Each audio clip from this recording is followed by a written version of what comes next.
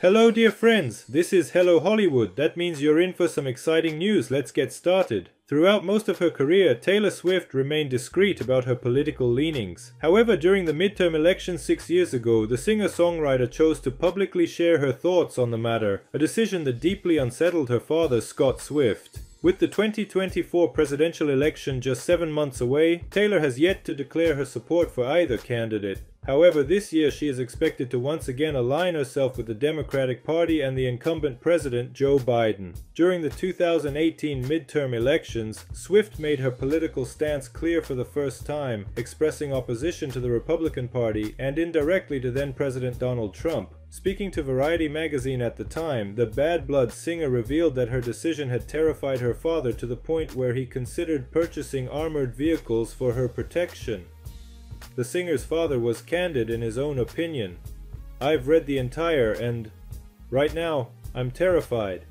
I'm the guy that went out and bought armored cars, he confessed to Taylor before she published the statement.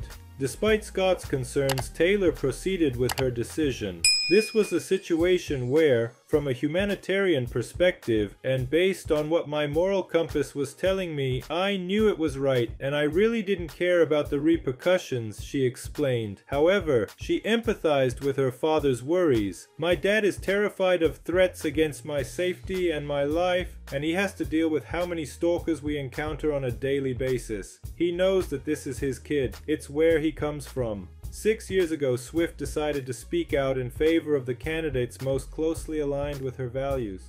I always have and always will cast my vote based on which candidate will protect and fight for the human rights I believe we all deserve in this country, she stated in the document.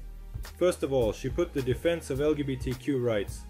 I believe in the fight for LGBTQ rights and that any form of discrimination based on sexual orientation or gender is war wrong.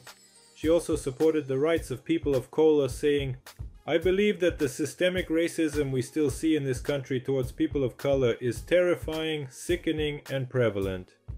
Finally, she openly said she would vote for Phil Bredesen for the Senate and Jim Cooper as Tennessee's representative. She also called on people to inform themselves about the candidates' platforms and vote based on who most closely represents your values. Experts consider Swift to be one of President Biden's most valuable assets. However, it remains to be seen if she will speak so clearly and forcefully again, or if her support will be more discreet on this occasion. That's all dear friends. Share this video, and leave your comments. Bye bye.